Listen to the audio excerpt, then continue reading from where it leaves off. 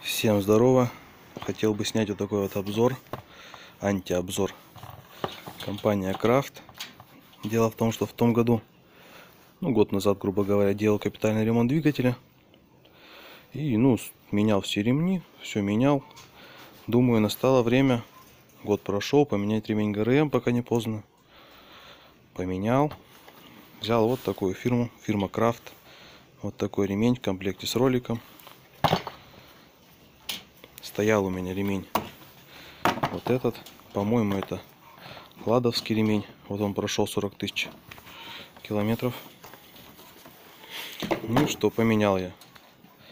Проходит три недели 3000 пробега. И вот такая вот картина. Вот такой вот отличный у нас ремень фирмы крафт который прошел 3000 километров менял с роликом, так что вариант, что что-то не так исключается. Покупал я их парой, то есть ГРМ и генератора. Тут на днях тоже стоял, ну уже темно, правда, было, не стал смотреть. Вижу, зарядка перестает идти на аккумулятор. А, кстати, ремень на 2108, восьмиклапанную. Ну и это. Решил, что с генератором проблемы. Сейчас ремень поменял, давай натягивать генератор. Натянул до такой степени, что аж до конца, до самого. Тоже та же самая фирма Крафт.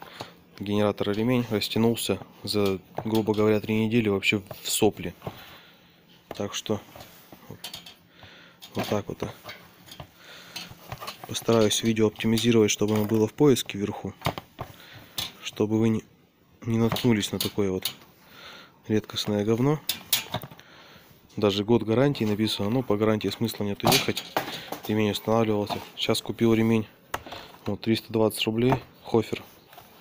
Поставил, не знаю, пробую на нем поездить, может быть получше.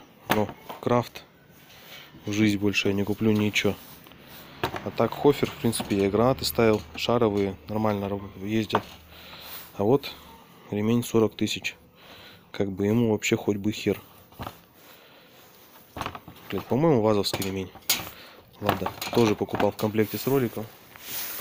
Ролик покажу. Вот, ролик от него, старого ремня. В принципе, ролик железный. Хороший ролик. А у крафтовского ролик пластиковый был. Так что, ребята, не натыкайтесь на такую шнягу. О, даже видно. Крафт. И не покупайте фирму Крафт никогда. Всем спасибо за просмотр. Можете подписаться. Я буду не против.